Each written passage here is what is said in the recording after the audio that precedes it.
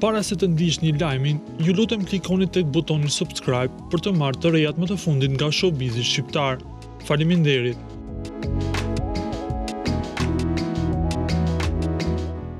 Personazhet publikë, krahas dashurisë dhe mbështetjes që marrin nga ndjekësit e tyre, shpesh vihen përballë komenteve negative dhe ofendimeve. Së fundmi ka qenë Rudina Dembacaj që mori një ofendim nga një ndjekëse, së cilës vendosi t'i përgjigjej. Më mirë një qorre, se dhjetë dashnore, ishte mbishkrimi që aktorja kishte lënë sipër fotos, Ku ndjekësja shkruajti. Po ti ke qenë dashnore e dikujt dhe more një plak.